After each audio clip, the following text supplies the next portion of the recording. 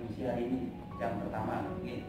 dengan materi uh, mekanisme pencairan dana TOK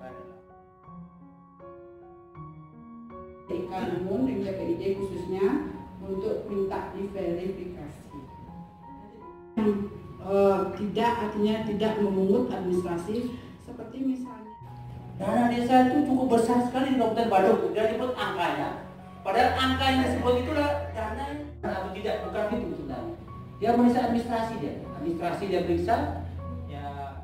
Batu TIK-nya tahun 2018 kan tidak memati nih, kerja memati sehingga baru kali ini ini adalah capturing. Capturing ini adalah kegiatan untuk menangkap eh, kegiatan inovasi. Identifikasi dan verifikasi awal ini akan dilanjutkan ke Pokja